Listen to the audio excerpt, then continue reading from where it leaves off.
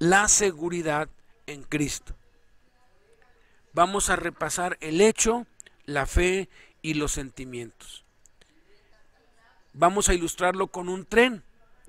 La orden de Dios es el hecho, el mandamiento de Dios es el hecho. Son las obras y las palabras de Dios.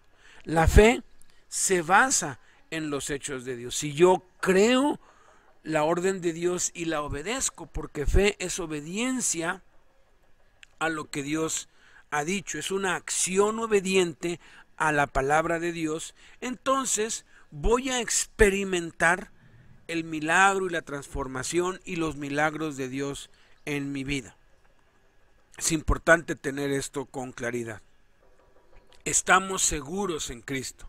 Juan 10, 27 al 29, Jesús dijo, mis ovejas oyen mi voz, y yo las conozco y me siguen, y yo les doy vida eterna, y no perecerán jamás, ni nadie las arrebatará de mi mano mi Padre que me las dio es mayor que todos y nadie las puede arrebatar de la mano de mi Padre. ¡Qué maravilloso!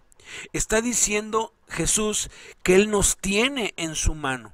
Él nos tiene así eh, seguros en su mano. Hagan de cuenta que esta es la mano de Cristo.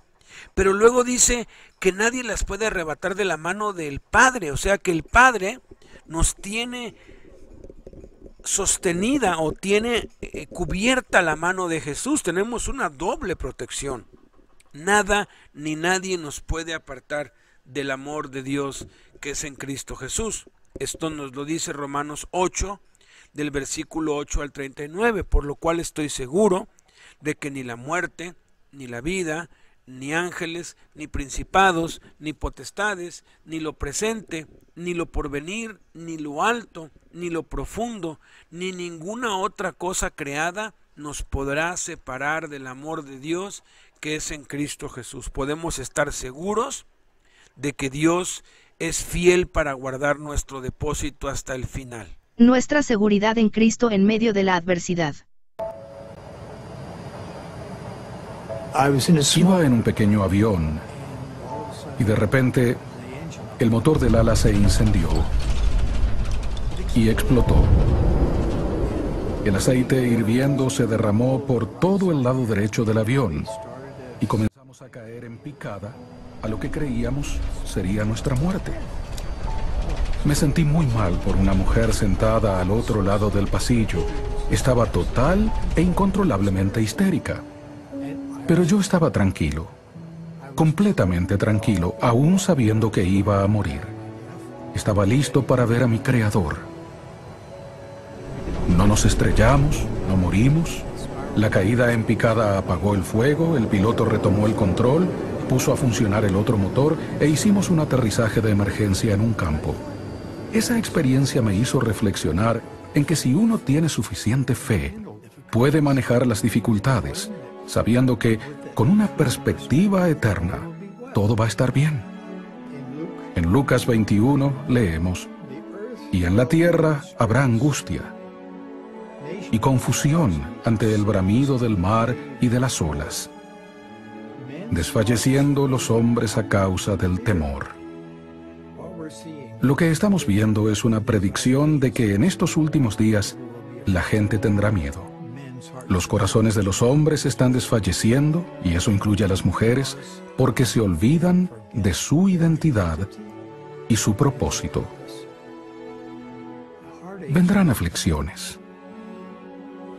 Yo he pasado por la muerte de mi esposa y la de una hija. He visto los problemas que el divorcio trae consigo.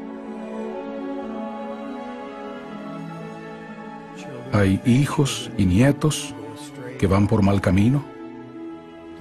Hay discapacidades, enfermedades, lesiones.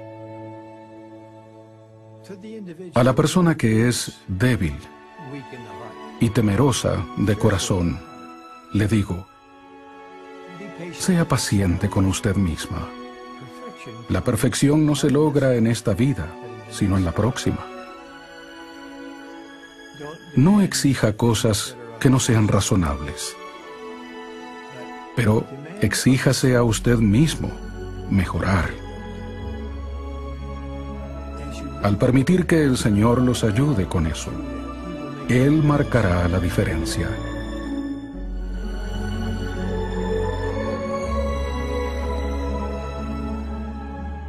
Estoy muy agradecido por el Evangelio de Jesucristo, que me permite ese tipo de fortaleza en estos tiempos tumultuosos.